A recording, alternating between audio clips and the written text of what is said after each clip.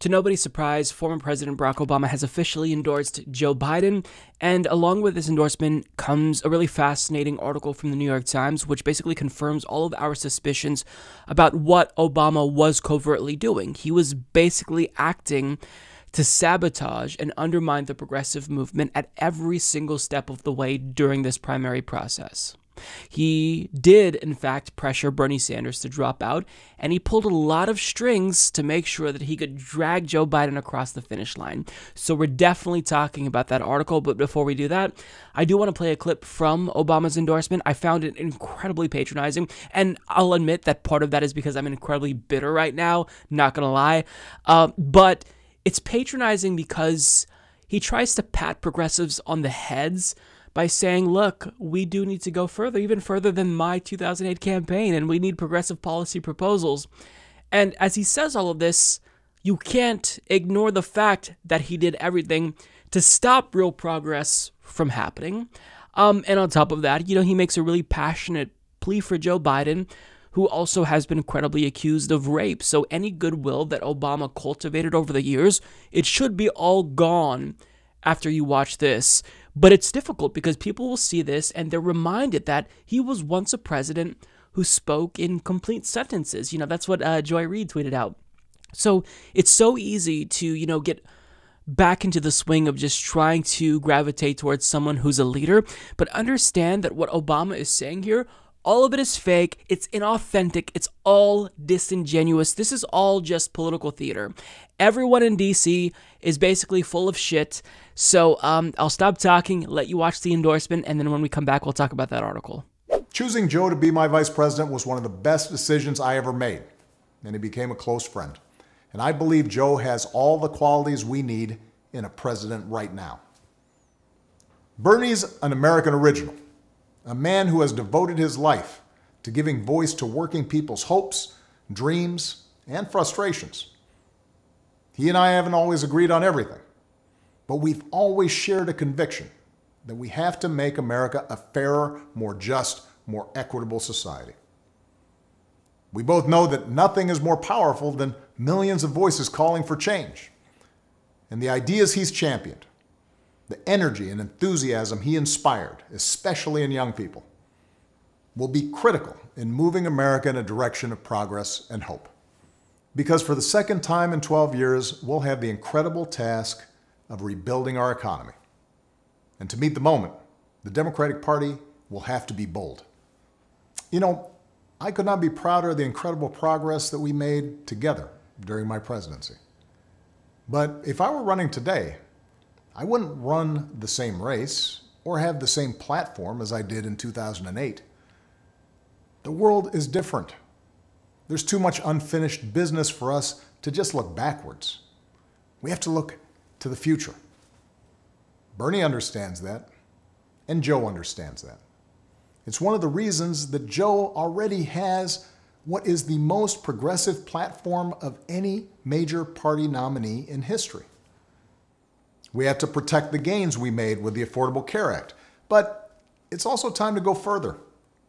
We should make plans affordable for everyone, provide everyone with a public option, expand Medicare, and finish the job so that healthcare isn't just a right, but a reality for everybody.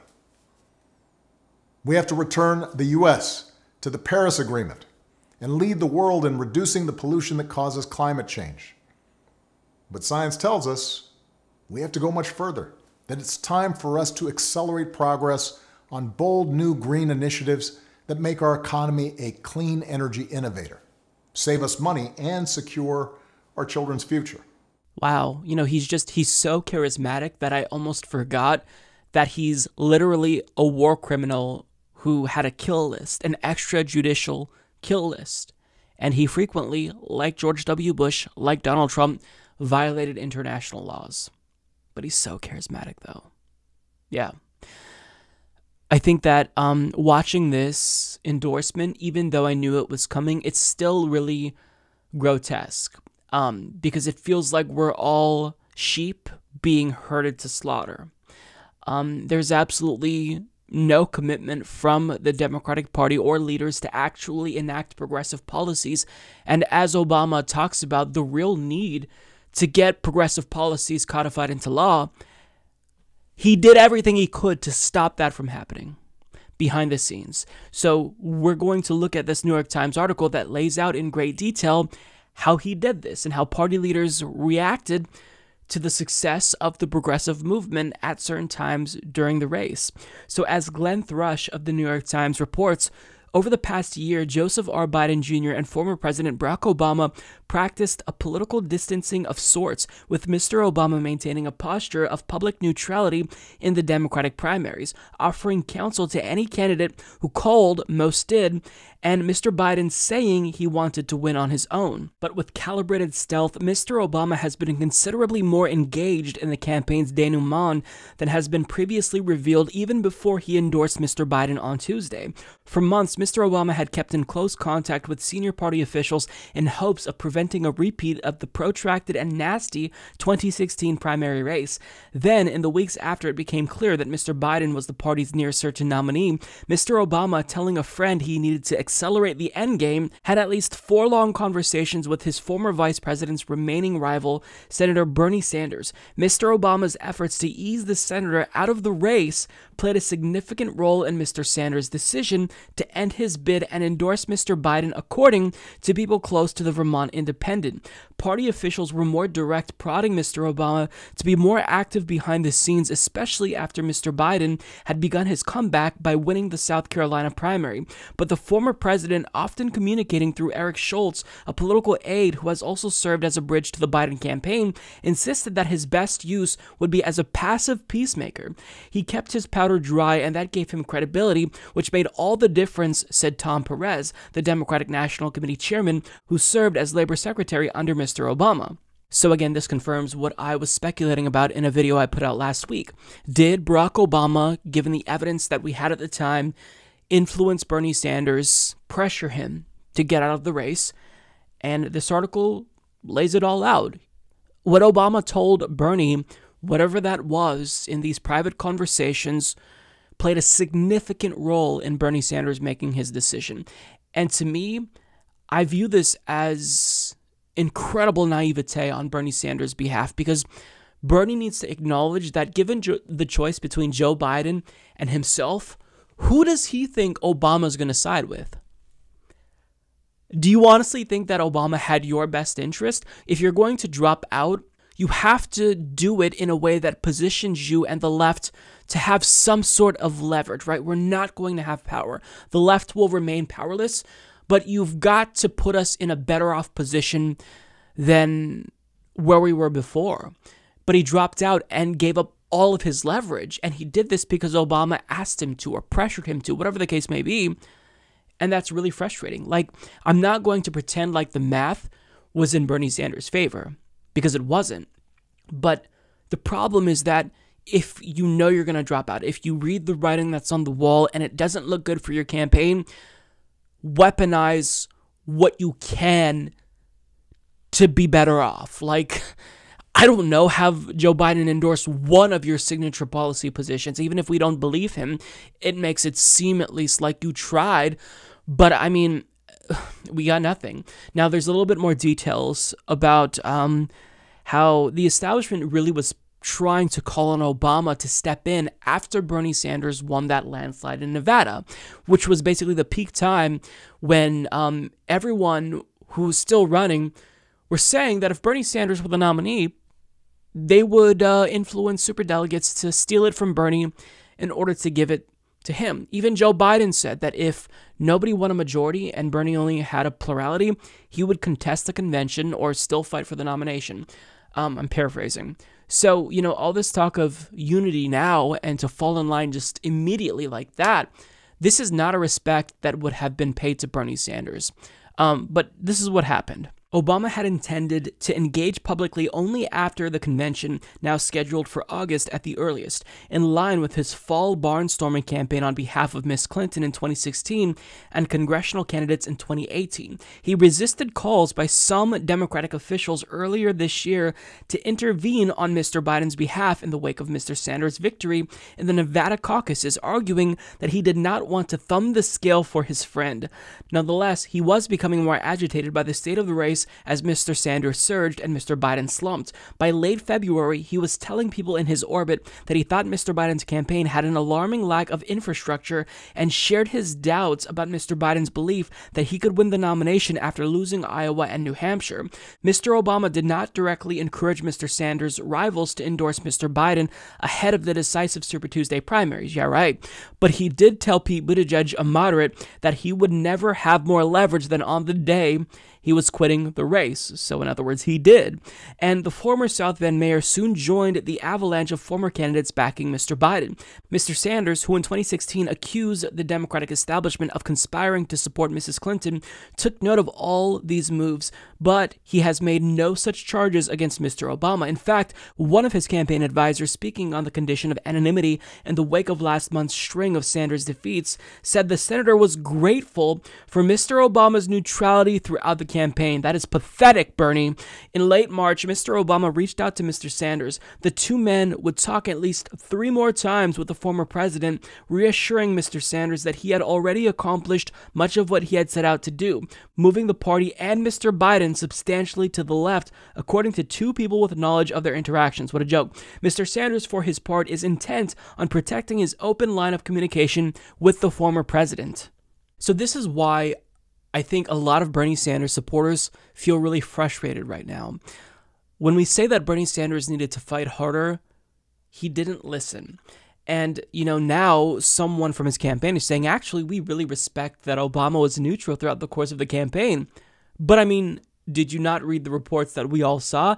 He was not neutral. He was the Debbie Wasserman Schultz of 2020. The only difference is that instead of using institutional mechanisms to sabotage Bernie's campaign, Obama used his own power and influence to sabotage Bernie Sanders' campaign. And I've got news for you. In the event, let's say South Carolina went differently and um, Amy Klobuchar had emerged victorious, that probably would have been who Obama made everyone else coalesce around. It wasn't necessarily about Joe Biden because we saw the reports about Obama kind of nudging Joe Biden to not run because he doesn't have to do this. He doesn't want him to embarrass himself. I did a video on this. It was really interesting. So it wasn't necessarily, you know, a pro Biden move by Obama. This was just an anti Bernie move. And I think that's really telling. This isn't just Obama looking out for his friend, this is him fighting to stop progress. And that's what I want people to understand. This isn't Obama Biden friendship, you know, uh, conflicts of interest. This is about Obama doing everything that he possibly can to deny the left power. The same left, mind you, that helped him get elected twice. It's a slap in the face. And Bernie Sanders, um, now that he has nothing to lose, he won't call it out. And look, Bernie Sanders He's principled, he's committed, so maybe he's going to wait until after this election cycle to speak up. But he's got to communicate to us in some way that he understands the disservice that was done to the left, not just by the establishment and Obama, but also the media. But Bernie Sanders is just a nice person who doesn't play politics. And you know that's that's a good thing. I like a politician that doesn't you know, engage in politics because it's disingenuous, but you've got to be a little bit more savvy than that. And uh, Bernie just, he wasn't. So, what I want people to take away from this ultimately is that if you ever want a chance at getting power, you have to do everything to discredit and delegitimize Barack Obama. Because so long as he is this holy figure within the Democratic Party, he can use that influence that he has to fuck over the left for decades to come. And that's a failure on our part. We didn't educate enough people about the inconsistencies and failings and war crimes of Barack Obama. We didn't tell people that Obama's neoliberalism and failures led to the rise of a right wing demagogue being successful like Donald Trump. Like, does anyone believe that if Obama actually followed through on his message of change, that Donald Trump would have been elected? Of course not. So, Obama is someone who I think the left really needs to focus on educating people about. He is not anyone's friend, he is only a friend to centrists and the power establishment. He acts as a gatekeeper and the biggest obstacle to progress. And if you truly want the left to have power, you've got to work really, really hard to discredit Barack Obama and let people know that this is not a good person. He might talk really nicely, he may have charisma, but this is a war criminal with the Nobel Peace Prize. This is someone who proposed a public option and we didn't even get a public option. He didn't even offer that up when he had a supermajority, and now he's telling you to support his former VP, who is uh, supporting a public option. We're supposed to believe them. Like, do you do you understand? Hillary Clinton, she is absolutely insufferable, but she's a distraction.